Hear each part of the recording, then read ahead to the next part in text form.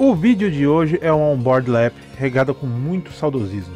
Primeiramente por conta do inesquecível autódromo de Jacarepaguá, desativado em 2012 e em seguida demolido.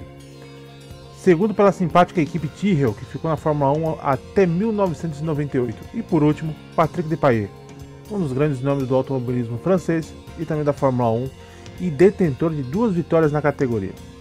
O vídeo é do final de semana do GP do Brasil de 1978, que foi transferido de Interlagos para Jacarepaguá naquele ano. Depailler largou em 11 e abandonou a prova na oitava volta com problemas nos freios. A corrida teve a vitória de Carlos Reutemann com Ferrari, mas a festa e todas as atenções ficaram para a histórica segunda posição de Emerson Fittipaldi com o Copersucar. A terceira posição ficou para Nick Lauda com o Brabham. A seguir, a volta on board de Patrick Depailler em Jacarepaguá. The new Jacarapagua circuit in Brazil was the venue for round two. Tyrrell's Patrick Depailler takes us for a ride.